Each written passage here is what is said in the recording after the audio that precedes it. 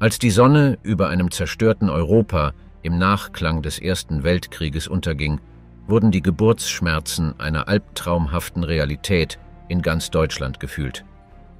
Aus diesen turbulenten Zeiten ging die nationalsozialistische Deutsche Arbeiterpartei hervor, umgangssprachlich als die Nationalsozialisten bekannt.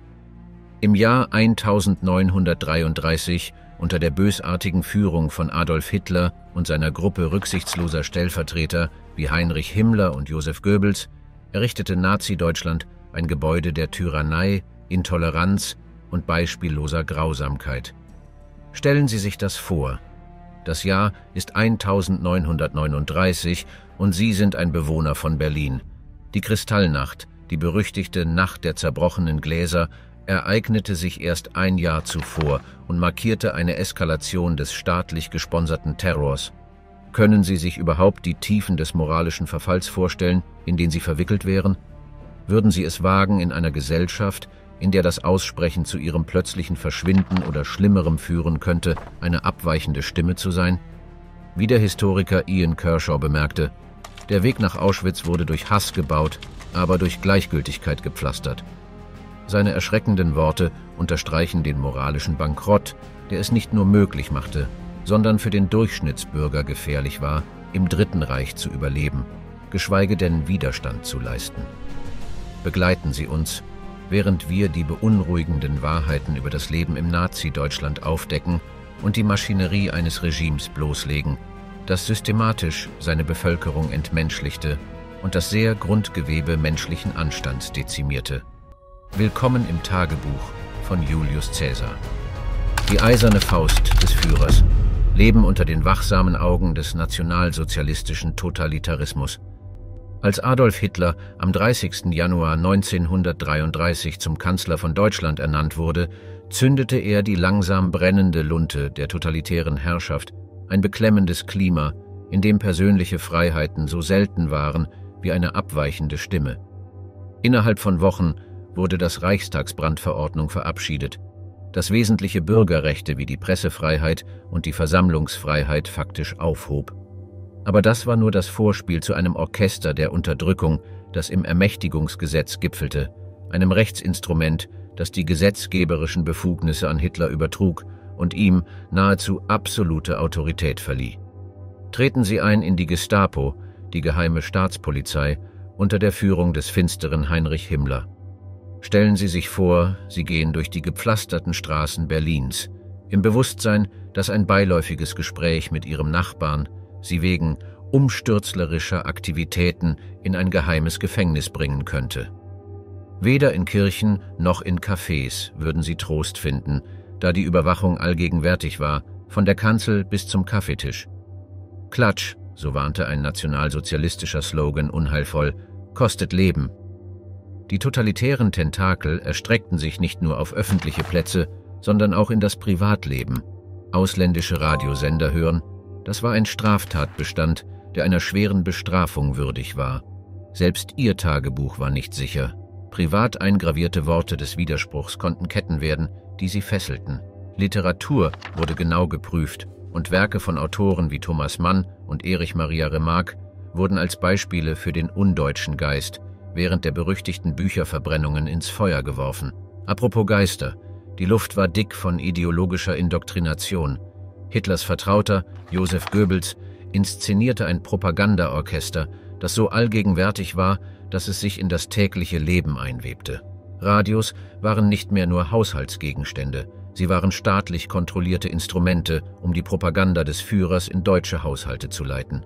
Die Olympischen Spiele 1936 in Berlin dienten als große Bühne, um Nazi-Deutschland als Utopie darzustellen, wenn auch eine, die unter ihrer eigenen Fassade bröckelte.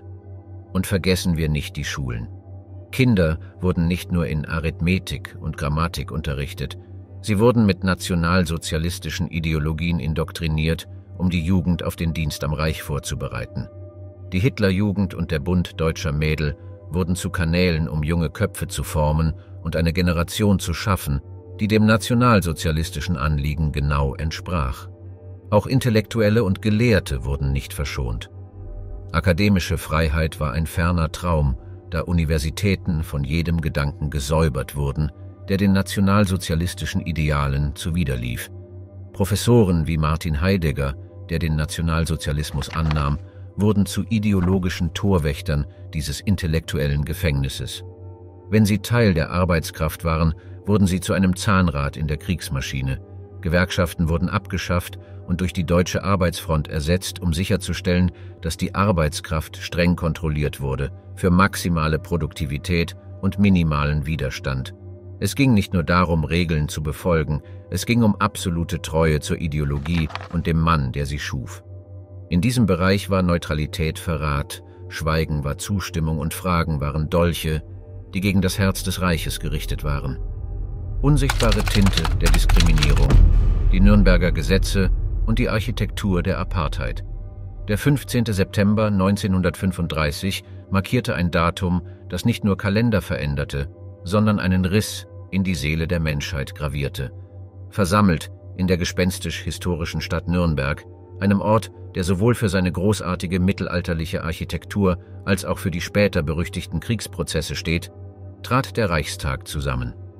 Unter dem wachsamen Blick von Adolf Hitler entrollten sie eine Schriftrolle des Vorurteils, die Nürnberger Gesetze, ein rechtliches Manuskript, das nicht regieren, sondern segregieren, isolieren und eine gesamte Bevölkerungsgruppe vernichten sollte, die Juden. Die Tinte war kaum trocken, als das Gewicht der Gesetze herunterkam. Zwei Hauptstatuten bildeten dieses diskriminierende Duett, das Reichsbürgergesetz und das Gesetz zum Schutz des deutschen Blutes und der deutschen Ehre. Es handelte sich hierbei nicht um Gesetze im herkömmlichen Sinne, sondern um soziale Todesurteile, rechtlich elegant verfasst von Hitlers treuen Juristen wie Wilhelm Frick und Bernhard Lösener. Stellen Sie sich die plötzliche Verdunkelung Ihrer Identität vor.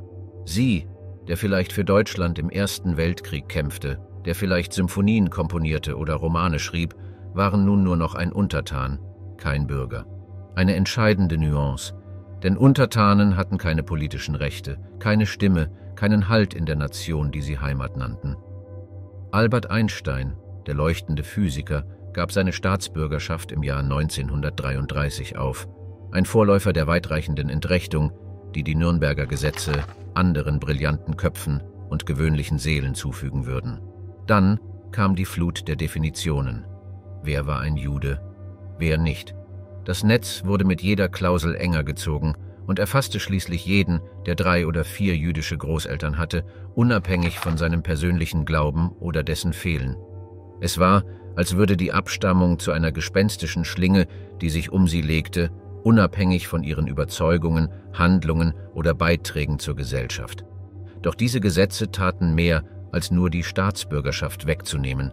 Sie versuchten, die Sehnen der Gesellschaft zu durchtrennen, indem sie über Heiratsverbote rassische Reinheit durchsetzten.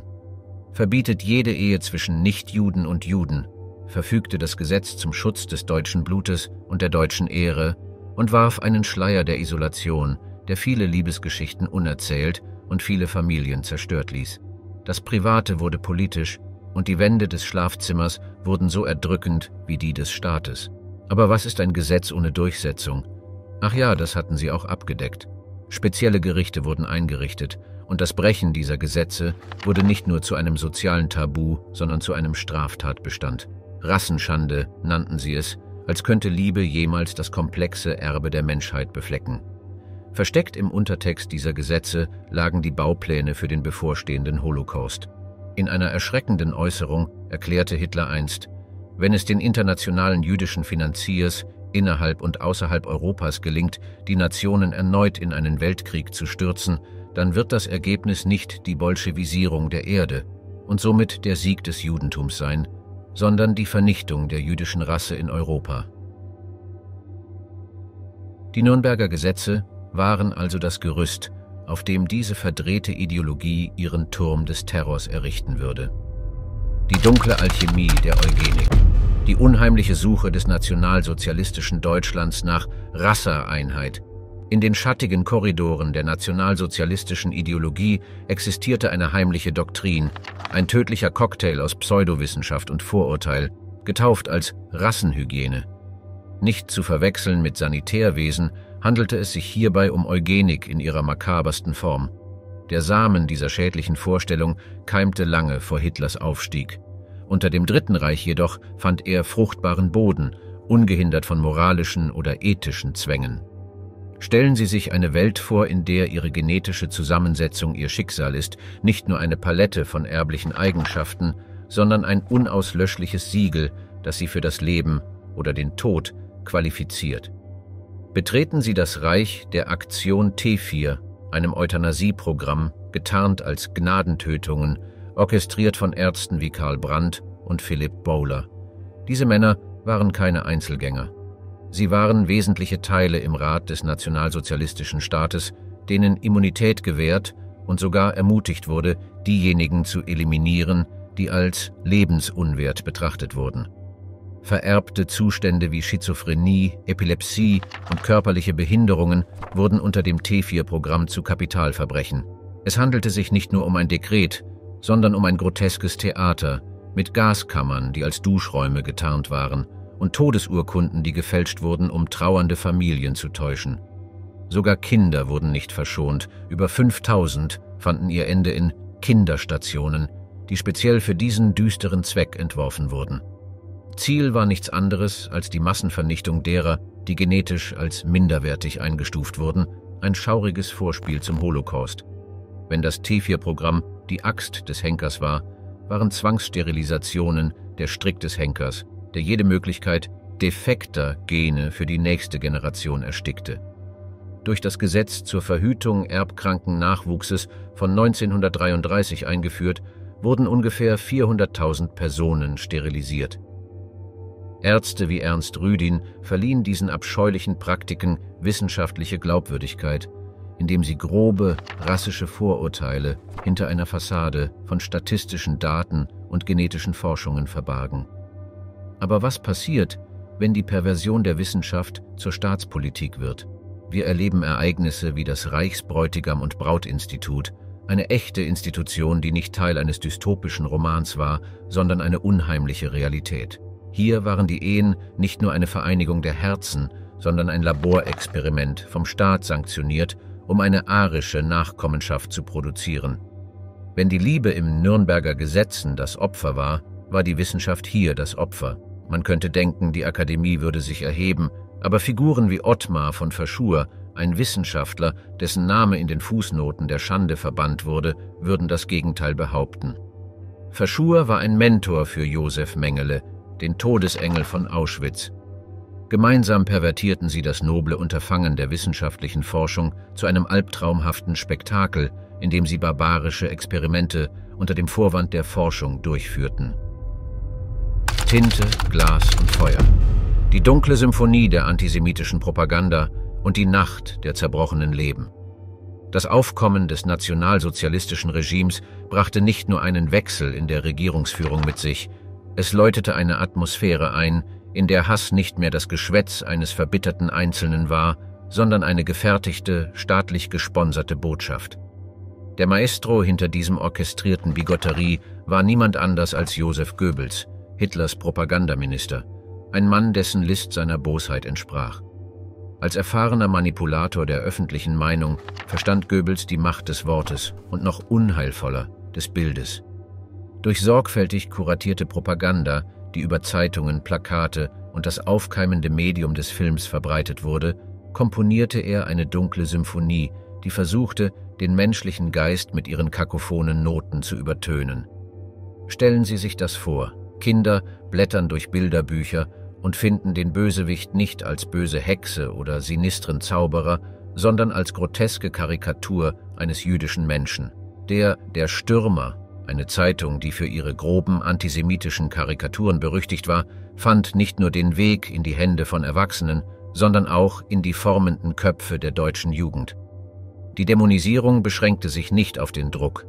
Filme wie Jud Süß und Der ewige Jude zeigten auf der Leinwand ein Spektakel des Vorurteils, das Juden als untermenschlich und dämonisch darstellte. In einer Gesellschaft, die in solchen Bildern ertrank, war Hass keine Emotion mehr, es war eine Indoktrination. Und dann kam die Nacht, die diese verzerrte Erzählung in eine erschreckende Realität kristallisierte. Die Nacht des 9. November 1938, die in der Geschichte als Kristallnacht oder die Nacht der zerbrochenen Gläser bekannt ist. Der Vorwand war die Ermordung eines deutschen Beamten durch einen polnischen Juden, Herschel Grünspan. Aber die Wahrheit war, dass die Kristallnacht darauf gewartet hatte, sich im fruchtbaren Boden der antisemitischen Propaganda zu entwickeln. Als spontaner öffentlicher Ausbruch inszeniert, war es alles andere als das. SA-Paramilitärs, die Zivilkleidung trugen, um eine Illusion von massivem öffentlichen Handeln zu erzeugen, zerschlugen die Glasfassaden von jüdisch geführten Geschäften, brannten Synagogen nieder und verhafteten etwa 30.000 jüdische Männer, von denen viele später in Konzentrationslagern landen würden. Das Glas, das in dieser Nacht zerbrach, war jedoch nicht nur das von Schaufenstern oder Synagogenscheiben. Es war das Zerbrechen von Leben, Gemeinschaften und der Idee des Zusammenlebens. Stadtviertel, die einst vom unschuldigen Lachen der Kinder und dem freundlichen Geplauder der Erwachsenen widerhalten, waren jetzt Soundtracks für einen Horrorfilm mit Schreien, Sirenen und dem krachenden Geräusch von Vorschlaghämmern gegen Glas. Auch im Angesicht einer solchen offenen Brutalität setzte die Propagandamaschine ihre düstere Arbeit fort. Zeitungen stellten die Kristallnacht als gerechtfertigte Antwort auf jüdische Provokation dar. Es war, als wäre die Sprache selbst entführt worden, ihre Worte in groteske Formen verdreht, die nicht mehr für die Wahrheit standen, sondern für eine fabrizierte Realität. Es ist erschreckend zu bedenken, wie viele Menschen in der deutschen Öffentlichkeit, die bereits jahrelang in antisemitischer Propaganda eingelegt waren, diese Erzählung akzeptierten, deren moralische Kompassnadel so verzerrt war, dass sie in einen Abgrund zeigte. Die vergessenen Ausgestoßenen, die anderen Gesichter in der Nazi-Galerie des Vorurteils. Im albtraumhaften Geflecht des nationalsozialistischen Deutschlands nimmt die Verfolgung der Juden eine besonders dunkle Ecke ein. Doch am Rande dieses düsteren Bildes befinden sich andere Gesichter, vergessen, an den Rand gedrängt, aber ebenso gequält. Dies war nicht nur ein Krieg gegen eine einzelne Gemeinschaft, es war ein Kreuzzug gegen die Vielfalt selbst. Ob sie homosexuell, Roma oder behindert waren, das Dritte Reich hatte keinen Platz für ihre Geschichte, außer als abschreckendes Beispiel dafür, wie die Gesellschaft nicht sein sollte. Stellen Sie sich das Berlin der 1920er Jahre vor, eine pulsierende Metropole voller Leben und Kultur, in der Sexualität mit einer für die Ära avantgardistischen Offenheit erforscht wurde. Springen Sie weiter in die 1930er Jahre unter der nationalsozialistischen Herrschaft, und diese aufkeimende sexuelle Befreiung wurde erstickt, begraben unter dem Gewicht des Paragraphen 175 eines drakonischen Gesetzes, das Homosexualität kriminalisierte. In ganz Deutschland begannen rosa Dreiecke zu erscheinen, auf die Gefängnisuniformen von Männern genäht, deren einziges Verbrechen es war, anders zu lieben. In Konzentrationslager geschickt, wurden sie oft einer brutalen Behandlung unterzogen, die über die ohnehin schon schrecklichen Normen solcher Orte hinausging.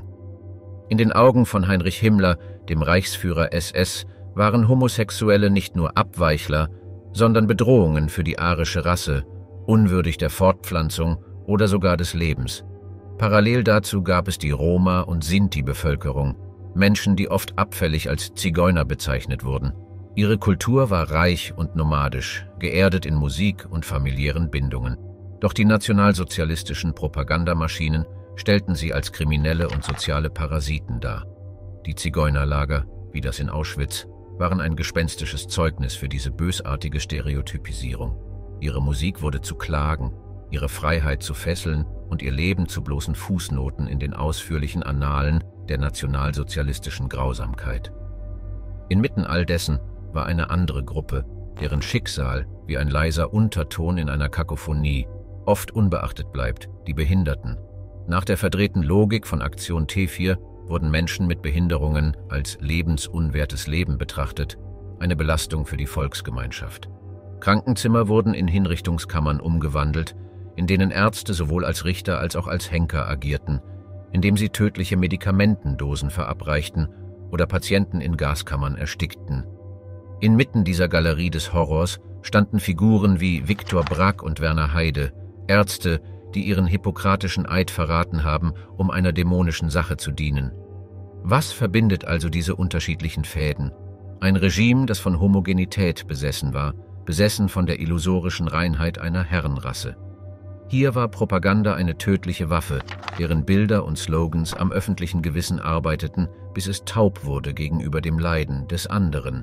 Josef Mengele, der berüchtigte Engel des Todes, experimentierte nicht nur mit Juden, er nahm auch ein perverses Interesse an den Roma-Zwillingen, die das Unglück hatten, sich in Auschwitz zu befinden. Ebenso war das deutsche Volksempfänger ein Sprachrohr der nationalsozialistischen Ideologie, nicht abgeneigt, Botschaften zu senden, die Homosexuelle und Behinderte als Feinde des Staates darstellten. Der Krieg gegen den Hunger, wenn Brot, Butter und Würde Mangelware waren. Stellen Sie sich eine belebte Berliner Straße Ende der 1930er Jahre vor. Es ist ein Füllhorn von Sehenswürdigkeiten und Gerüchen, von Metzgereien und Bäckereien, deren Fenster mit glänzenden Würsten und frisch gebackenen Broten geschmückt sind. Doch als Deutschland in den Zweiten Weltkrieg stürzt, würde dieses Bild des Überflusses zu einer Leinwand der Knappheit werden. Die Theke des Metzgers würde leer werden, die Regale der Bäckerei karg. Dies war nicht nur ein Krieg, der mit Kugeln und Panzern geführt wurde, es war ein Krieg gegen den Hunger, gegen einen heimtückischen Feind, der in deutsche Häuser eindrang und Esstische zu Schlachtfeldern machte. Im kriegszeitlichen Deutschland wurden Rationierungskarten genauso wichtig wie Geld, diese rechteckigen Stücke Papier bestimmten, wie viel Brot, Fleisch und sogar Seife man kaufen konnte. Eine familiäre Ernährungskarte wurde nicht in der Küche, sondern in der labyrinthischen Bürokratie aufgestellt, die diese Rationen verwaltete. Spezielle E-Karten wurden Schwerarbeitern gegeben und boten ihnen zusätzliche Kalorien, während schwangere Frauen und Kinder zusätzliche Milchrationen erhielten. Dies war die perverse Vorstellung von Gerechtigkeit des Regimes, eine Gesellschaft im Krieg, geschichtet durch den Hunger. Die Ironie war offensichtlich. Hier war eine Nation, mitgerissen von Träumen von kaiserlicher Größe, und doch wurden ihre Menschen dazu gebracht, Grundlegendes zu tauschen. Knappheit war nicht nur ein Symptom des Krieges, sie wurde als Waffe eingesetzt. Besetzte Gebiete spürten dies am stärksten. Das nationalsozialistische Regime exportierte Lebensmittel aus eroberten Ländern zurück ins Vaterland und verschärfte den Hunger in bereits von Konflikten heimgesuchten Gebieten. In Orten wie der Ukraine und Polen wurden Felder, die einst Ernten trugen, zu Schlachtfeldern, deren Produkte beschlagnahmt wurden, um eine Armee zu ernähren, die nach dem Ethos des Lebensraums marschierte. Inmitten der Rationierung und Knappheit gedieh der Schwarzmarkt wie Unkraut in einer trostlosen Landschaft. Kaffee, dieses einfache Vergnügen, das viele als selbstverständlich betrachteten, wurde zu einem Luxusartikel und oft durch Ersatzkaffee ersetzt, hergestellt aus gerösteten Eicheln oder Zichorie. Eine Tafel Schokolade oder eine Packung Zigaretten konnten zu Verhandlungschips in einem Spiel mit hohen Einsätzen werden, bei dem es ums Überleben ging. Als wäre es aus den Seiten eines kafkaesken Romans gezogen, entfalteten sich heimliche Transaktionen in gedämpften Stimmen und schattigen Ecken. Bürger, die einmal stolz auf ihre gesetzestreue Natur waren, wurden zu widerwilligen Regelbrechern, getrieben von der Leere in ihren Bäuchen und der Verzweiflung in den Augen ihrer Kinder. Und wenn man von Kindern spricht, stellen Sie sich die Auswirkungen der Rationierung auf die Verletzlichsten vor. Schulen wurden zu Arenen, in denen die Habenden und Nichthabenden nicht durch Noten oder Talente, sondern durch den Inhalt ihrer Brotdosen unterschieden wurden. Lehrer, bereits belastet durch einen durch Propaganda verzerrten Lehrplan, mussten sich auch mit den physischen und kognitiven Rückgängen ihrer Schüler auseinandersetzen, da die Unterernährung ihren Tribut forderte. Wenn ein Kind fragte, was gibt es zum Abendessen, war die Antwort oft eine schwere Stille, schwanger von unausgesprochenen Ängsten. Knappheit hatte auch eine psychologische Dimension, insbesondere für Frauen, die traditionell die Hausfrauen waren.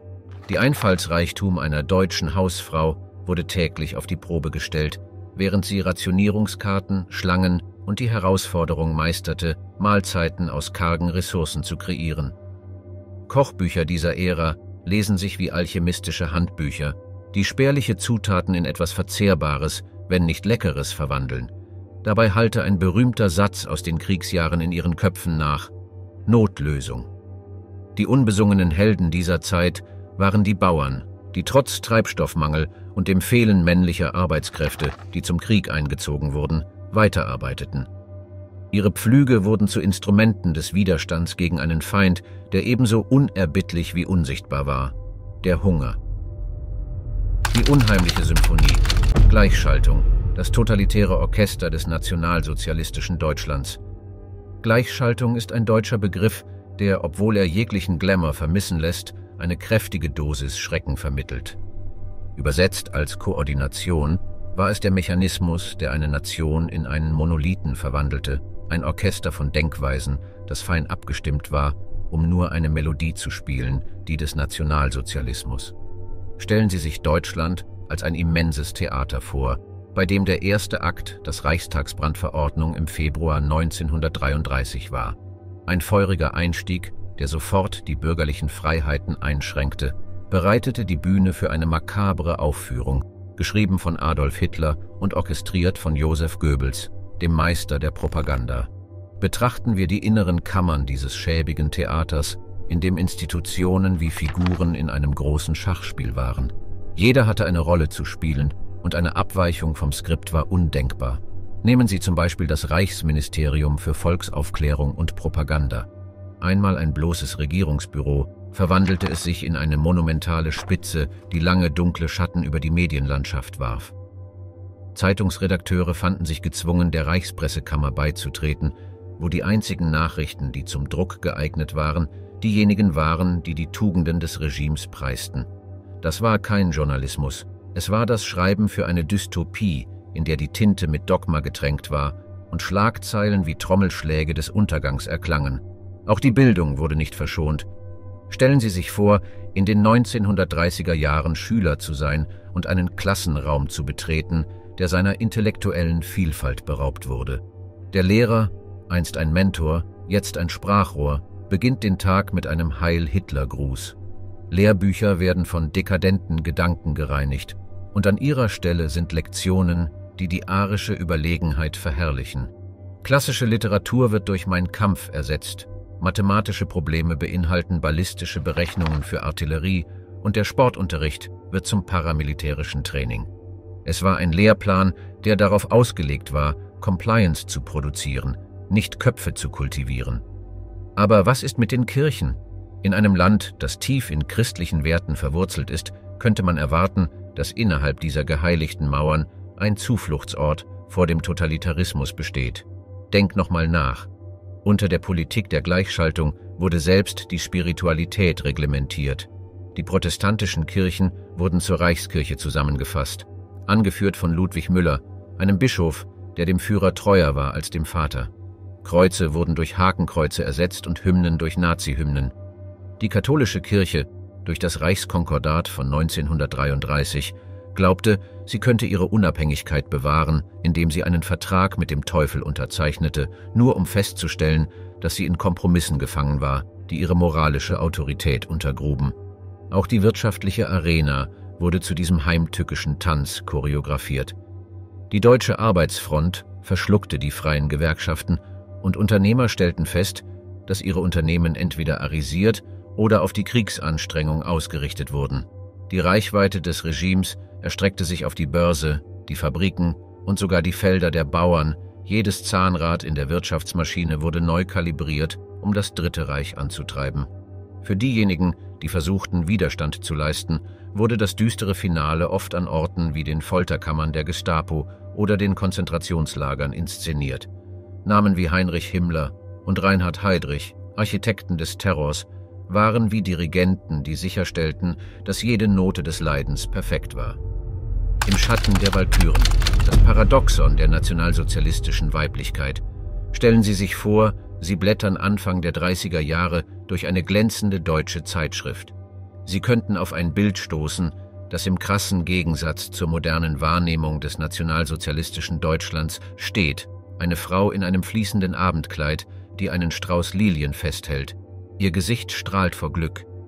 Diese rätselhafte Figur ist Gertrud Scholz-Klink, die ranghöchste Frau im Dritten Reich. Als Leiterin des Nationalsozialistischen Frauenbundes verkörperte sie eine verblüffende Dichotomie, die Erhebung arischer Frauen zu mythischen Ausmaßen, während sie gleichzeitig an erstickende häusliche Rollen gefesselt wurden. Scholz-Klinks hochfliegende Rhetorik sprach von Frauen als Säulen der Volksgemeinschaft und malte sie als Göttinnen der Fruchtbarkeit und Symbole rassischer Reinheit. Aber diese Vergöttlichung hatte ihren Preis, ein eisernes Set von familiären Pflichten, das Frauen an das Zuhause band. Betrachten Sie zum Beispiel den Reichsmütterdienst, eine Institution, die direkt aus einem düsteren Märchen zu stammen schien. Das war eine Schule, aber nicht die Art, zu der man seine Töchter gerne schicken würde. Der Lehrplan war eindeutig. Lernen, Mutter zu sein. Hier wurde jungen Frauen beigebracht, dass ihr Wert untrennbar mit der Anzahl der Kinder verbunden war, die sie gebären konnten. Selbst Hitler bot eine düstere Interpretation familiärer Wärme und erklärte, die Aufgabe der Frau ist es, schön zu sein und Kinder auf die Welt zu bringen. Die Ironie war nicht zu übersehen. Das Regime, das die Mutterschaft idealisierte, riss paradoxerweise viele Frauen aus ihren Berufen als Lehrerinnen, Ärztinnen oder Anwältinnen. Betrachten Sie das Gesetz zur Verringerung der Arbeitslosigkeit im Jahr 1933, das jungen arischen Paaren Darlehen gewährte, um zu heiraten, jedoch nur unter der Bedingung, dass die Frau ihren Beruf aufgab. Es ging nicht um wirtschaftliche Entlastung, sondern darum, einen häuslichen Bereich zu gestalten, in dem die Ambitionen der Frauen gezähmt und ihre Flügel gestutzt wurden. In dieser perversen Realität wurde das Archetyp der idealen arischen Frau zwischen der mythischen Walküre, der Kriegerjungfrau der nordischen Legende und der eingeschränkten Figur der traditionellen deutschen Hausfrau eingeklemmt. Doch die nationalsozialistische Ideologie war pragmatisch, wenn sie es sein musste. Als der Krieg Männer an die Front saugte, wurden Frauen widerwillig aus ihren Herden gezogen und in Fabriken gestoßen. Das war keine Ermächtigung, sondern Zweckmäßigkeit. Die Frau, die gestern noch auf häusliche Pflichten beschränkt war, montierte nun Munition oder arbeitete in arbeitsintensiven Industrien, während die gesellschaftliche Botschaft unverändert blieb. Ihre ultimative Rolle ist zu Hause, als Mutter und Ernährerin. Aber nicht alle Frauen entschieden sich, auf diese Rollen beschränkt zu bleiben. Einige nahmen aktiv am Widerstand teil, wie Sophie Scholl, eine junge Frau, die Teil der Widerstandsgruppe Weiße Rose war und das monolithische Narrativ über die nationalsozialistische Weiblichkeit herausforderte. Ihre mutigen Taten und ihre letztendliche Hinrichtung erinnerten die Welt daran, dass Frauen genauso mutig und widerstandsfähig sein können wie Männer selbst wenn die Welt sie darauf reduzieren wollte, nur Kanäle für zukünftige Generationen zu sein. Samen der Zwietracht säen, die verlorenen Kindheiten von Hitlers Dämmerreich. Stellen Sie sich einen Spielplatz vor, der vor Kindern wimmelt und deren Lachen in der Luft klingt. Stellen Sie sich nun vor, dass sich diese idyllische Szene in etwas weitaus Unheilvolleres verwandelt, einen Ort, an dem jugendliche Begeisterung genutzt wird um eine Maschine des Hasses und des Fanatismus zu befeuern. Willkommen in der beunruhigenden Welt der Hitlerjugend, in der die Unschuld der Kindheit oft durch eine tief verwurzelte Indoktrination ersetzt wurde, die darauf abzielte, formbare Köpfe in fanatische Anhänger der nationalsozialistischen Ideologie zu verwandeln. Die Gründung der Hitlerjugend im Jahr 1926 war kein bloßer Akt der Schaffung eines neuen Clubs für Jugendliche. Es war eine kalkulierte Initiative, um die Grundsätze des Nationalsozialismus in eine ganze Generation zu infundieren. Bis zum Jahr 1936 war dies kein Phänomen mehr, bei dem man sich freiwillig beteiligen konnte. Es war gesetzlich vorgeschrieben, dass alle arischen Kinder Mitglieder sein mussten. Baldur von Schirach, der Reichsjugendführer, leitete diese Massenindoktrination, eine Rolle, die er mit fanatischem Eifer verkörperte. Seine Mission? Eine Nation junger Soldaten zu schaffen, ideologische Krieger, die die Reinheit der deutschen Rasse bewahren und Hitlers Vision in die Zukunft tragen würden. Im Mittelpunkt dieser Transformation stand ein hinterhältiger Lehrplan, meisterhaft entworfen, um das Undenkbare schmackhaft zu machen. Den Kindern wurden Lehrbücher in die Hand gegeben, die versuchten, die Geschichte umzuschreiben und die Moral neu zu definieren. Weg waren Lektionen über Mitgefühl und Einheit, an ihrer Stelle kamen verzerrte Fakten, die jungen Menschen beibrachten, Juden, Kommunisten und jeden, der als minderwertig angesehen wurde, zu verachten. Selbst die alten Märchen verwandelten sich in düstere Geschichten, um die arische Vorherrschaft zu verherrlichen. Aber dies war keine isolierte Handlung, es war eine allgegenwärtige, weitreichende Kampagne. Erinnern Sie sich an Leni Riefenstahls berühmten Propagandafilm Triumph des Willens. Er zeigte eine weitläufige Szene mit Tausenden von Mitgliedern der Hitlerjugend und gab den Zuschauern einen Einblick in das Ausmaß dieser Indoktrination. Die Jugend wurde nicht nur gelehrt zu hassen, sondern auch, diesen Hass in die Tat umzusetzen. Trainingsübungen beinhalteten oft körperlich anstrengende Aktivitäten, um die Jugend zu einem Inbegriff arischer Stärke zu formen.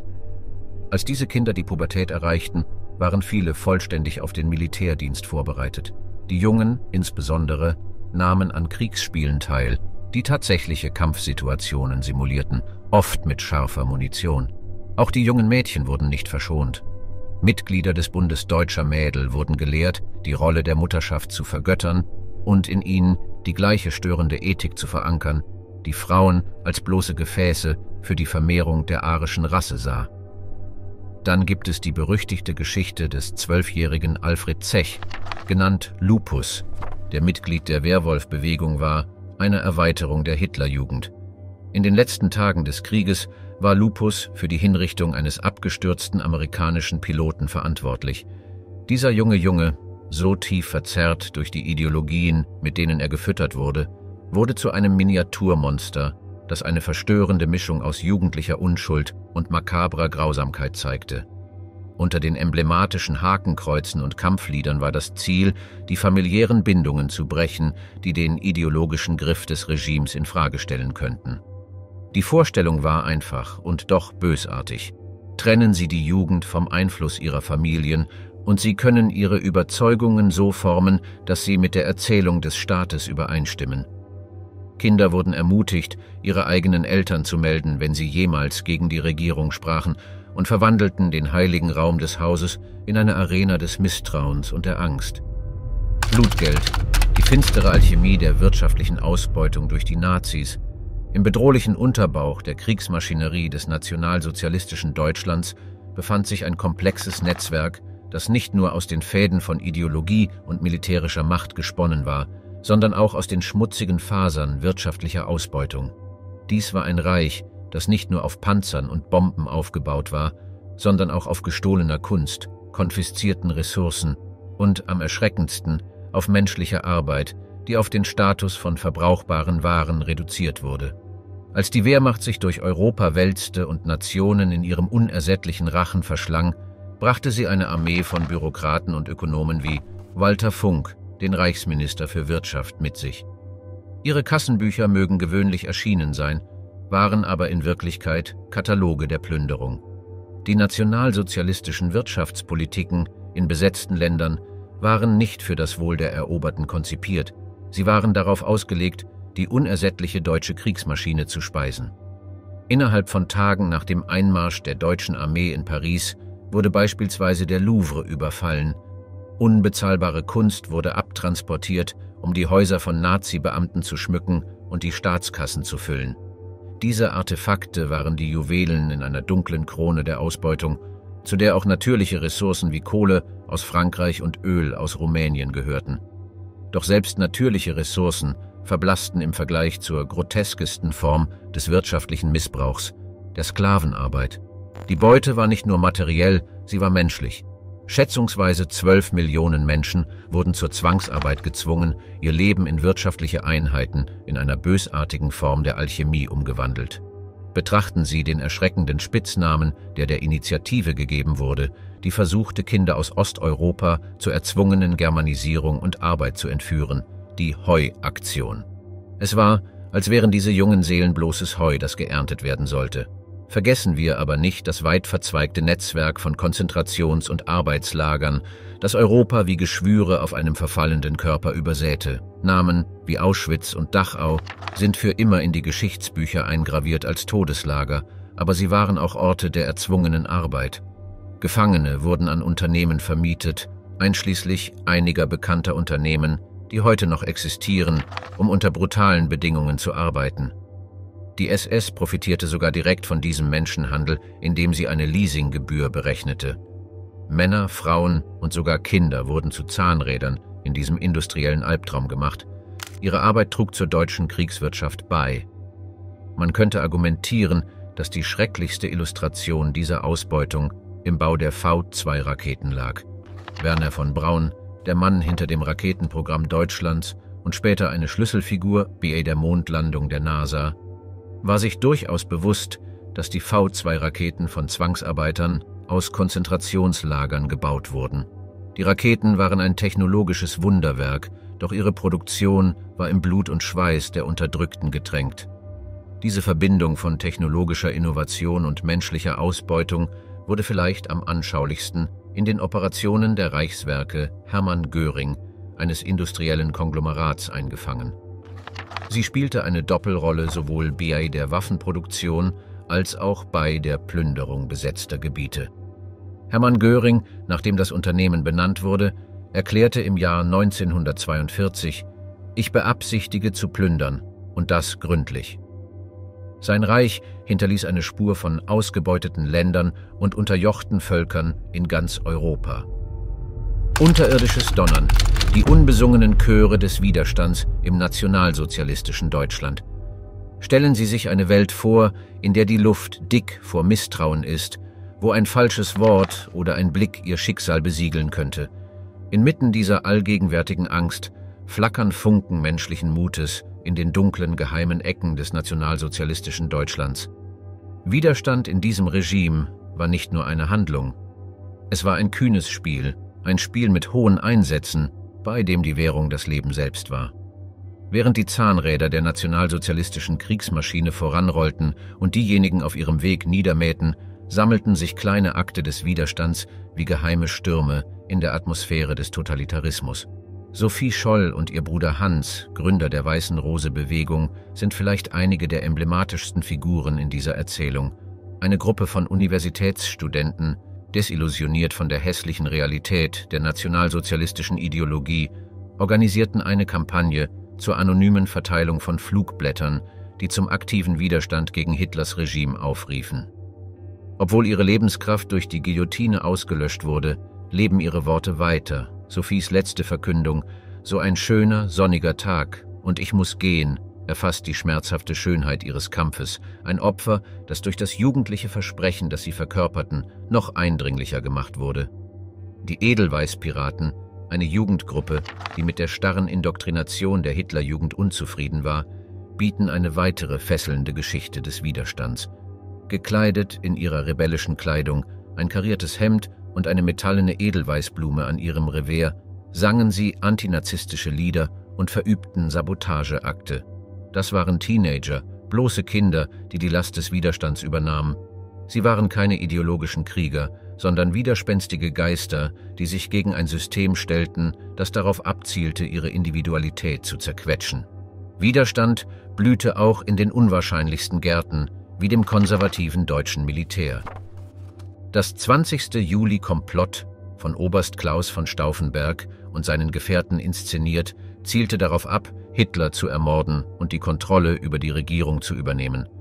Ihre Handlung war eine verzweifelte, kalkulierte Tat, der letzte Würf eines Würfels von Männern, die gesehen hatten, wie ihr geliebtes Deutschland in die Irre geführt wurde.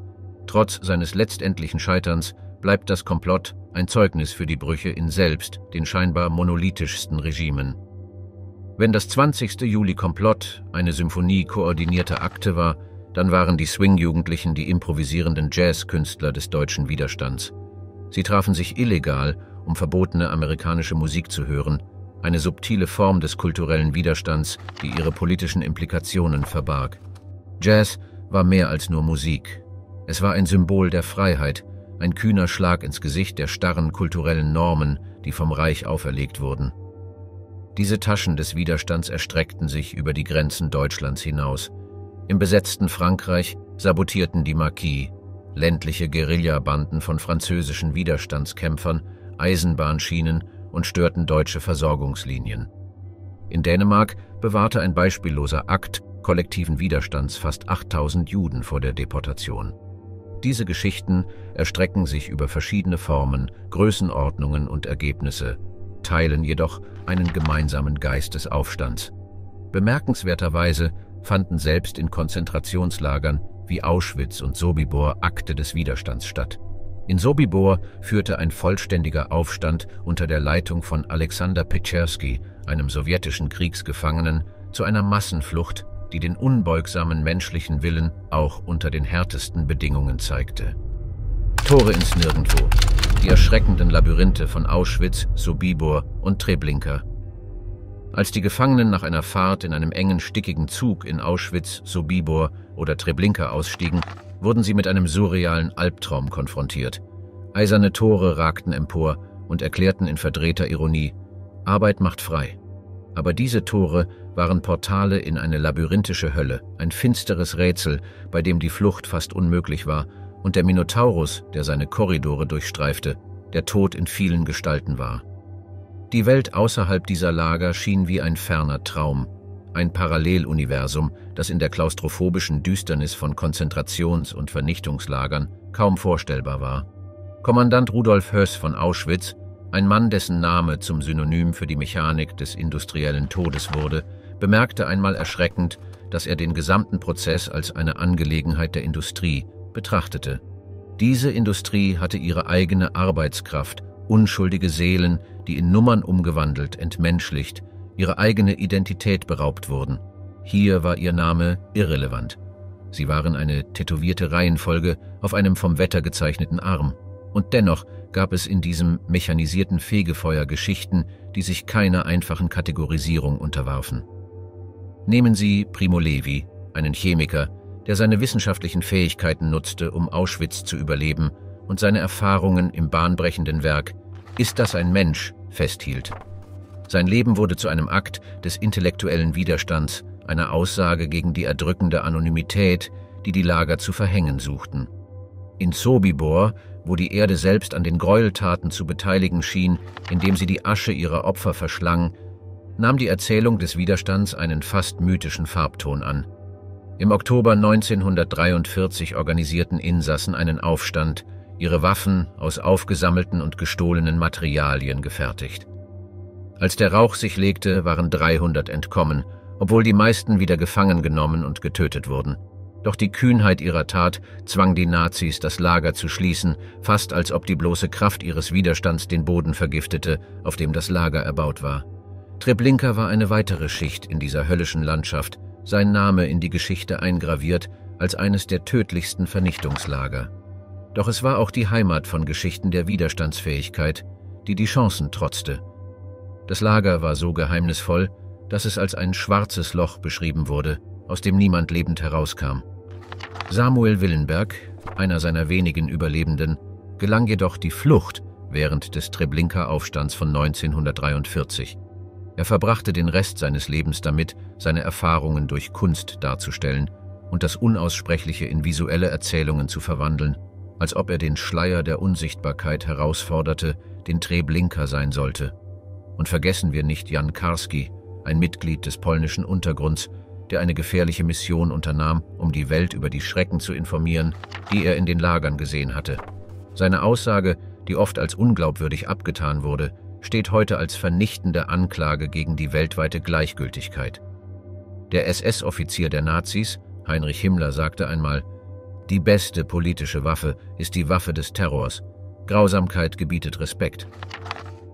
Er sah die Lage als Fabriken der Angst, die nicht nur dazu bestimmt waren zu töten, sondern zu terrorisieren, um das vernichtende Wirken der Grausamkeit im menschlichen Bewusstsein zu prägen. Aber was er unterschätzte, war die Widerstandsfähigkeit des menschlichen Geistes. Sogar im dunkelsten Abgrund fanden die Menschen Wege, ihre Menschlichkeit festzuhalten.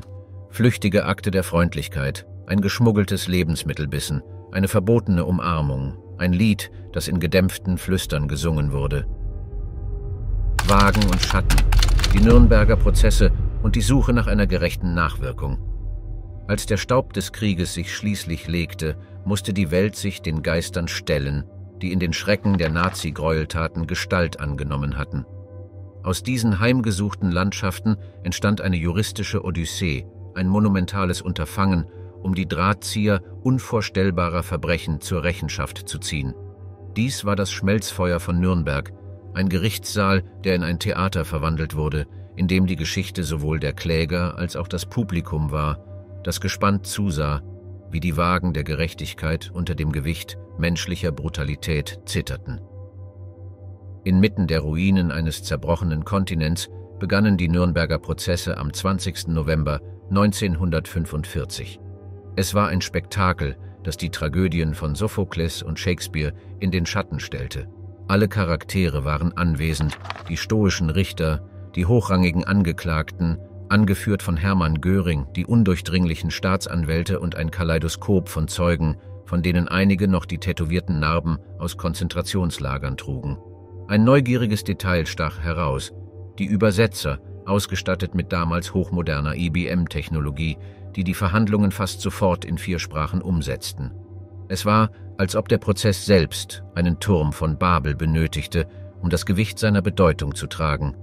Hier konfrontierte die Menschheit zum ersten Mal Verbrechen gegen die Menschlichkeit, ein juristischer Begriff, der geschaffen wurde, um das Unfassbare zu erfassen. Die Anklagen umfassten Kriegsverbrechen, Verbrechen gegen den Frieden und Völkermord. Es gab Momente, die die sterile Atmosphäre des Gerichtssaals mit Scherben roher Emotion durchbrachen. Zum Beispiel, als die Überlebende Marie-Claude Vaillant-Couturier ihre herzzerreißende Zeugenaussage über das Leben in Auschwitz gab, schaute selbst der ausdruckslose Göring weg, als wären ihre Worte Glassplitter, die seine Fassade zerrissen. Der Mann im Zentrum der Prozesse, der Hauptankläger der Vereinigten Staaten, Robert H. Jackson, beschrieb Nürnberg als eine der bedeutendsten Ehrungen, die die Macht jemals der Vernunft gezollt hat. Doch die Vernunft schien an einem dünnen Faden zu hängen. Als der Psychologe Gustav Gilbert Göring interviewte, war er erstaunt, einen Mann zu entdecken, der nicht in den speichelfleckigen Schreien eines rasenden Ideologen sprach, sondern mit den vernünftigen Tönen eines Bürokraten. Hier war ein Labyrinth von moralischen Komplexitäten, das kein Gerichtssaal leicht navigieren konnte.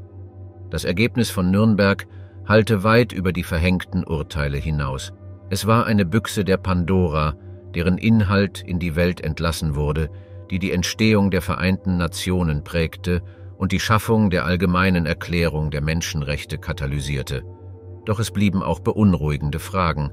Könnte Gerechtigkeit jemals eine ausreichende Wiedergutmachung für unwiderruflich zerstörte Leben sein? Und was ist mit denen, die dem Blick des Gerichts entkamen, wie Adolf Eichmann, der bis zu seiner Festnahme im 1960 in Argentinien ein Leben von beunruhigender Normalität führte? In den schattigen Winkeln der Geschichte traten andere Figuren hervor, um die Nürnberger Erzählung herauszufordern.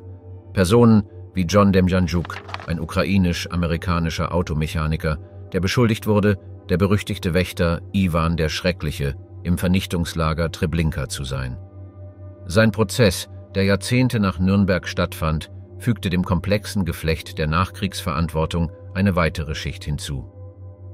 Wenn der Vorhang über diesem Wandteppich unvorstellbaren menschlichen Leidens fällt, dürfen wir das Buch nicht zu hastig schließen. Zu vergessen bedeutet, der Tyrannei ihren fruchtbarsten Boden zu geben. Das Vergessen.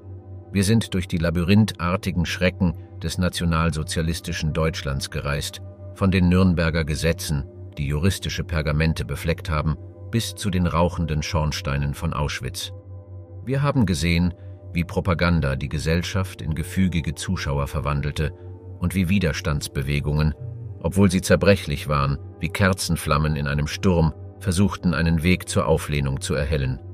In den Worten von George Santayana, diejenigen, die sich nicht an die Vergangenheit erinnern können, sind dazu verdammt, sie zu wiederholen.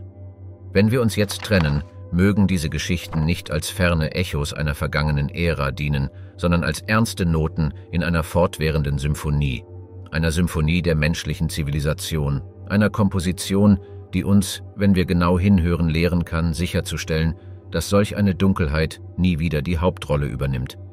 Denken Sie daran.